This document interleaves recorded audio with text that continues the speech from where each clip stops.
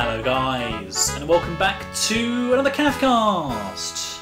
Today we are taking a look at the Cooler Master V1200 Platinum. This is a 80 plus platinum power supply from Cooler Master. They very kindly have sent one over for me to take a look at, which is absolutely awesome.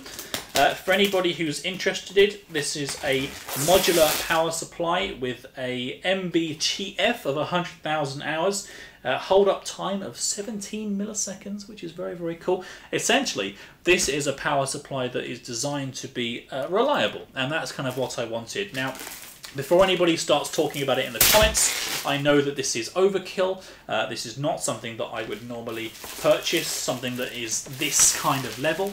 I would normally go with something like, in fact, what I have in my other system is an 850 watt power supply. Um, but seeing as we had a chance to take a look at it, I thought, why not? Let's just plug it in and see what happens. And hopefully um, we'll be able to get something out of it that works really well um, and has such a low threshold that we won't actually be kicking up the fan unless we are really at a heavy, heavy load. And that's that's kind of the idea behind using something of, of, of this level. But as I said before, there's no reason at all for you to spend loads and loads of money on a power supply. It's really not that important. You should use a power supply checker or calculator and in fact, there is one on Cooler Master's website if you want to find out exactly how many watts you need for your system. And it is updated on a regular basis as well, so you can double check whether or not you can run four of those Titan X's on your system and those kind of things. So the first thing to note is that the power supply is surprisingly heavy. It took actually a bit of effort to uh, to get that out, um, but it is out now, and it's in another secondary box, which is Probably quite good for shipping, I expect, and is quite well secured with a nice Cooler Master logo on the front there. And here we go. We have a little user manual, which is kind of like another one of these sort of pull-out leaflet type designs. Cooler Master seems to be quite happy with those. And to be honest with you, if they do the job and you're able to understand what it's trying to portray effectively, then they're fine. There's no problem at all there. We have not one, but two packs of what looks like a, uh, a lot of modular sleeved cables. And in fact, if we have a little look inside here, you can see that everything uh, is either is all black and is either ribboned or is sleeved. Um, and actually, the sleeving, even when it's uh, sorry, when even when it's ribboned, still looks really nice. Um, and I imagine that that will actually be quite easy to uh, modular around the computer. We're essentially going to need to have uh, power for three, uh, three SSDs for the graphics card, 6 and 8 pin, for the 780 that we're going to be using temporarily until we decide to get one of the new 9 series cards that are coming out later on. Uh, and then we're probably looking at a little bit more for the obviously the, the, the motherboard itself.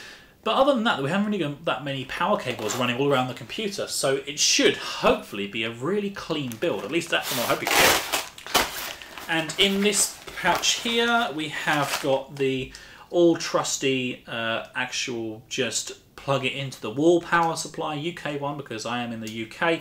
Um, so yeah, fear our strange looking plug, uh, and uh, and there's a few old kind of style IDE connections as well, which is good. IDE. When I say IDE, I mean do I mean IDE power? IDE, how do you power IDE drives? That's how you power IDE drives. So we still have a few of those, which we definitely won't be using. But it's good of Cooler Master to provide us with two of these pouches, because I always think that these are quite good, especially for doing bits and pieces like this. Um, I really like those. So that's fantastic. We can put those to one side and get the actual power supply out, which again is in probably a nicer bag than my pillow. Uh, it's really, really soft. That's lovely. Ah, they, they really are looking after this power supply, making sure that it gets to you in a nice condition um, and also enjoys the ride as well. anyway, uh, so the actual the actual power supply itself is quite attractive, um, which is a strange thing to say about a power supply. So uh, I'm going to put this bag to one side. Uh, it says hybrid fan is intelligently switched on at higher temperatures only. So that's what I was talking to you guys about, which is absolutely fantastic. If I take it out of this small plastic bag here, you can see that the uh, the actual power supply itself has a really nice silver kind of brushed uh, metal finish with the fan on the top uh, and even a satisfying uh, sticker to peel off on the on the top there as well. Uh, a big old power switch, which is nice to see because when you're feeling around the back of your computer, the last thing you want is a very very small one to have to turn on and off. So that's really, really good to see. And in fact, I'll put that off now so that that's set up the right way it should be for when you're building your computer.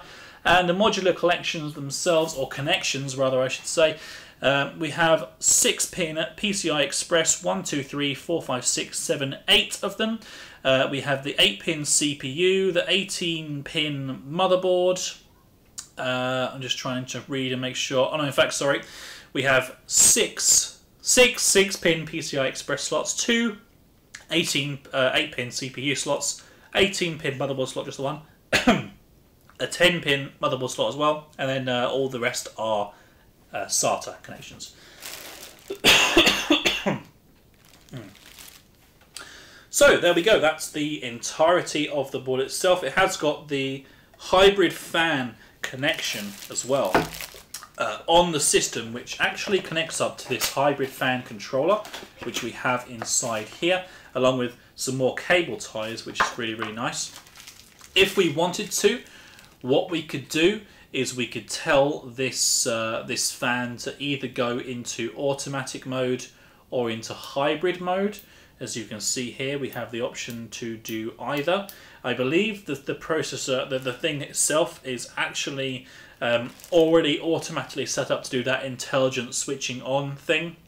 Uh, but then you can also turn that off if you want to as well um, by adding this little uh, sort of extension card thing, which we definitely won't be doing because I have no desire to mess with the power supply in any way, shape or form. It's going to sit and it's going to intelligently do exactly what it wants to do. And if it wants to turn the fan on, it can turn the fan on as far as I'm concerned. So once I've finished installing the power supply guys, we'll be taking a little bit of a look for you in some more detail and I'll come back to this video with a closing statement about the power supply, letting you know if it was easy to install and also letting you know if it was uh, easy to get running and everything and make sure it's all working okay. So we'll see you shortly. So, after installing the power supply and spending a bit of time with it, here's what I've found. It's a power supply yeah, it's not really going to be anything that's going to blow your mind in terms of PC builds. There are always much more interesting things, but there's a few things that I want to talk about about this power supply which stand out. The quality of the build and the quietness of it are significant benefits. The fact that the power supply doesn't really make any noise unless my computer is at full load, and I mean dead silent, the fan actually turns off for the majority of the system being on, is fantastic. And the product feels like a quality product. It does say on the box that it has some high-end Japanese capacitors and bits and pieces inside it, but really, until you get hold of something like this, it's hard to judge it for yourself. The drawback, I think there's only one that I can think of uh, at the moment, is that the ribboned cables are quite hard to cable manage. The ATX 12 volt connection that we use to connect the motherboard to the power supply is absolutely fine. It's sleeved, it's braided, it's wonderful. The rest of the cables, including the SATA connections, the CPU connection, the 4 pin and the 8 pin, uh, sorry, 6 pin and 8 pin for the PCI Express for the graphics cards, are all ribbon cables, which is very, very disappointing. It's a challenge for us because when we want to work with cable management and stuff around the back of the, the, the, the actual case, when you cable tie a ribbon cable, all that happens is it wraps round and becomes very difficult to work with. So that was a bit of a shame. But there's nothing wrong with using the cables that it has or even using your own or the most ideal option would actually be to sleeve the cables yourself, which you can do relatively easy.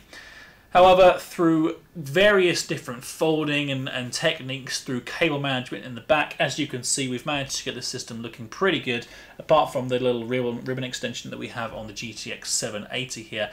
Good thing is that the this power supply actually supports those dual 8-pin connections on the ribbons, so we only use one PCI Express cable for powering both the 6-pin and the 8-pin on the graphics card, which is super awesome.